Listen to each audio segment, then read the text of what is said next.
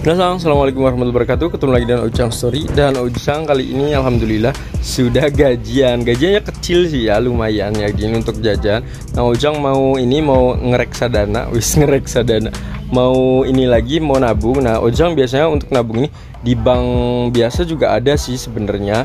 Cuma Ujang lebih condong Untuk naruh duitnya itu di reksadana. Karena kalau di reksadana itu ya pertama apa ya duitnya tuh kalau diambil meskipun mudah ya tapi Ojang ngerasa yang oh ini adalah untuk investasi gitu di mindset Ojicang makanya Ojang tidak ambil uangnya.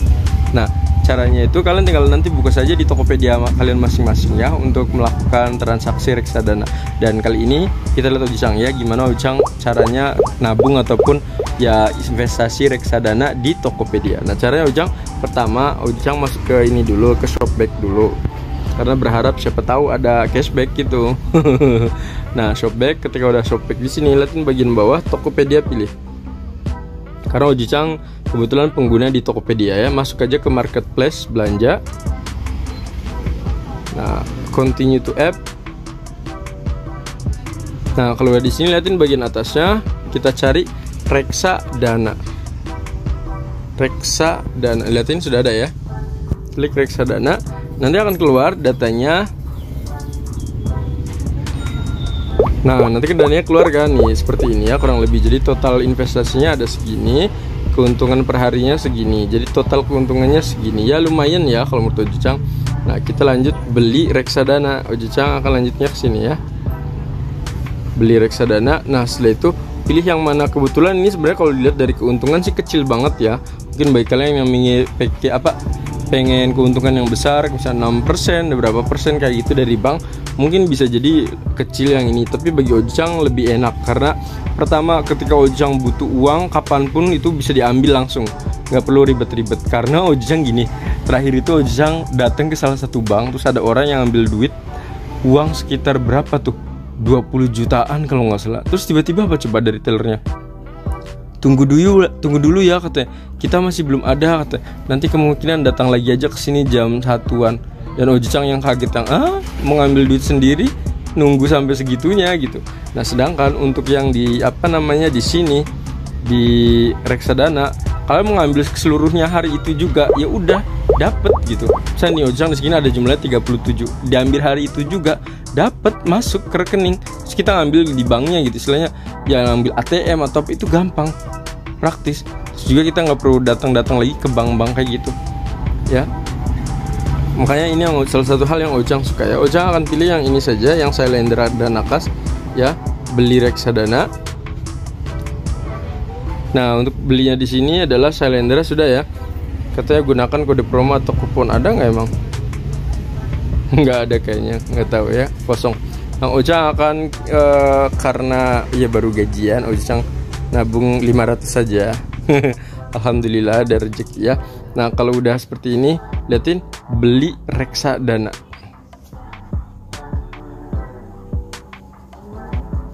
Nah kalau udah di sini liatin kode pembayarannya dengan apa dan Ojang menggunakannya adalah di sini dengan BNI ya Terserah kalau kalian mau bayarin dengan apa. Kebetulan Ojang sudah mengintegrasikan Bank BNI di sini dengan pembayaran di Tokopedia. Jadi ya pakai BNI bayar.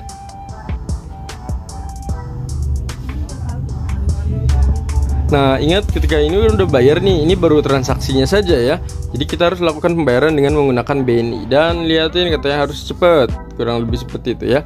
Oke kita akan masuk ke BNI dulu. BNI masuk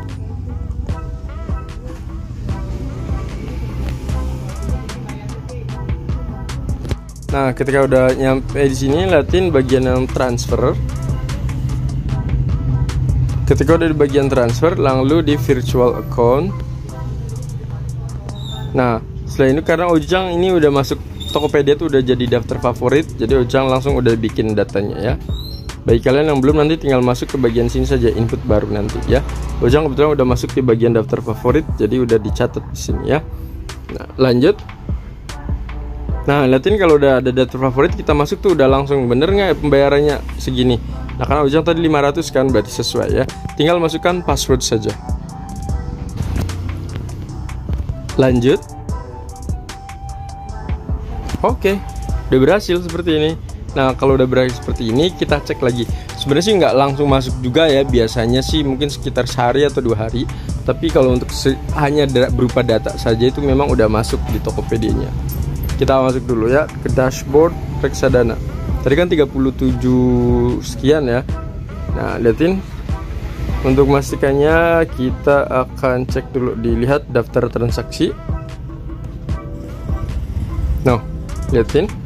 Ya tadi kan 500 ribu kan? Ini 500 ribu. Ya Ojang biasanya pakai yang ini nih kadang.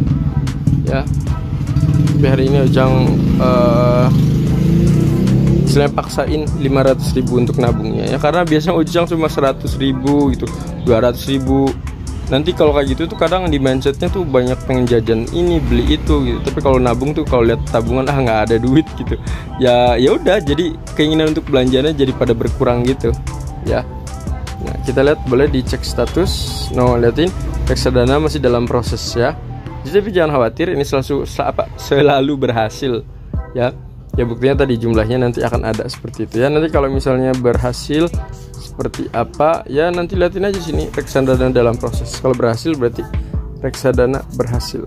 Ya itu saja mungkin informasi dari Oji Chang terkait dengan investasi reksadana di Tokopedia. Semoga informasi ini bermanfaat. Nasang, Assalamualaikum, bye